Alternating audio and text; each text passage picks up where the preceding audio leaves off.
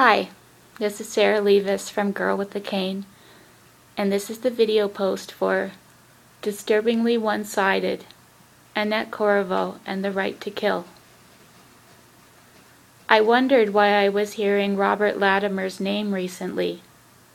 It turns out that on Friday there will be vigils around the United States, in cities including New York, Washington, Chicago, Boston, Tampa, Florida, Fort Worth, Texas, and Portland, Oregon, for people with disabilities who have been killed by their caregivers.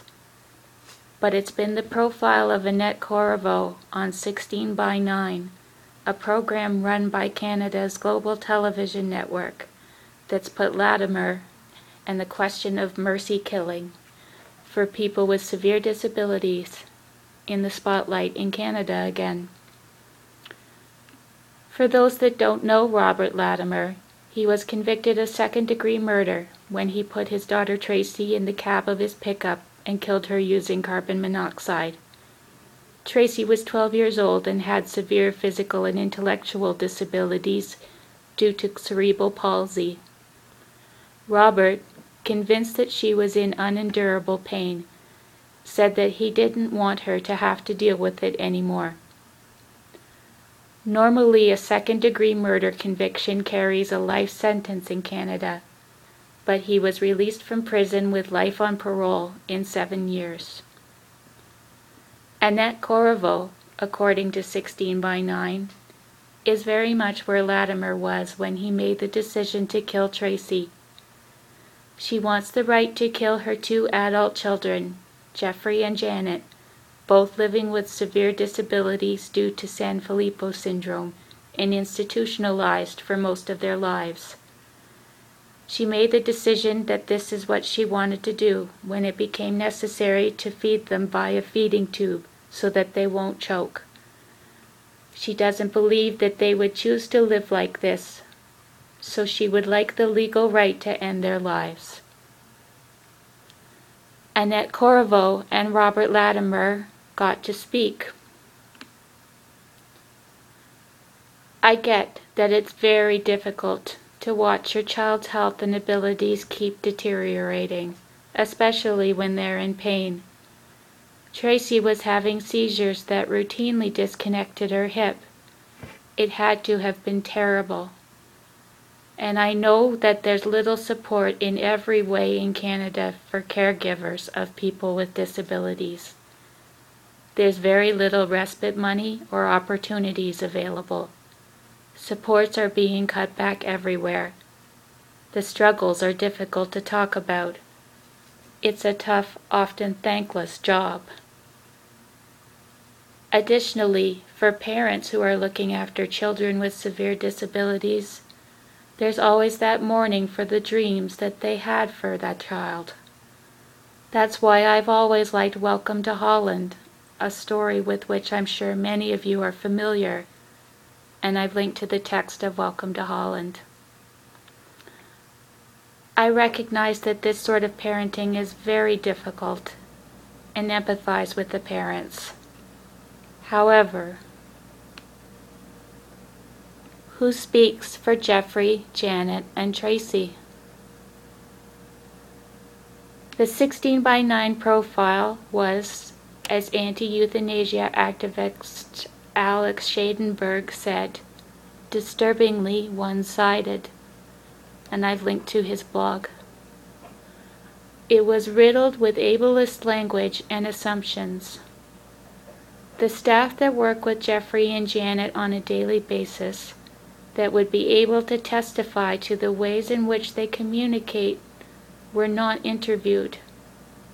The reporter did not challenge Annette Corriveau at all on her conviction that her children did not do not want to live the way they are, just because she felt that she would not choose to live if she was living that way, or ask if she's worked with the facility in which they live to take steps to make their life more bearable. For example, it was brought up several times that Janet has not left the facility in over 20 years. but the reporter never asked Annette Corriveau if she'd worked with the facility to try and arrange some trips out into the community. The documentary obviously took the stance that what happened to Jeffrey and Janet was horrible and that no one could blame Annette Corriveau for thinking the way she was, like she was the victim of some cosmic tragedy that no parent should have to endure, and therefore justified in stopping her pain in whatever way she could. After all, as the reporter pointed out, more than half of Canada and most of the jury actually supported Latimer's actions while the trial was going on. I find all of this profoundly disturbing. Reporter, is any of this about you?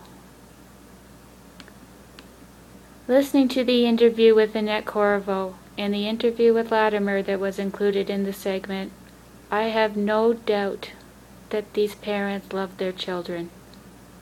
But I don't buy that Latimer killed Tracy, Tracy at least solely to ease her pain, or that Annette Corriveau wants to kill her children out of concern that they wouldn't want to live that way. I think it's more about parents that can't stand dealing with the pain that their children's suffering causes them. And when you don't know how much someone is actually suffering, or what they'd like done about it. In Tracy's case, at her age, no responsible clinician would even have thought of asking her, Do you want to die? if she'd not have an intellectual disability. It's just plain wrong. Ask, don't assume. All people deserve the dignity of making their own life choices no matter how you feel about what living their life must be like. Or how I feel, for that matter. I can only be empathetic with the Robert Latimers and Annette Corriveaus to a point, and quite frankly, I'm glad for it. The whole 16 by 9 segment is available for viewing here, and I've provided a link.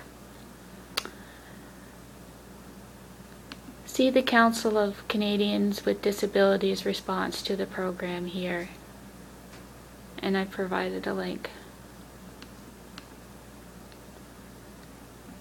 And just as an, an end to all that, I don't mean to come across in that entry as, as horribly judgmental, although I know I, it sounds like I do. I can't be as objective about this as I would like. Um, but I'm working on it. Thanks for listening.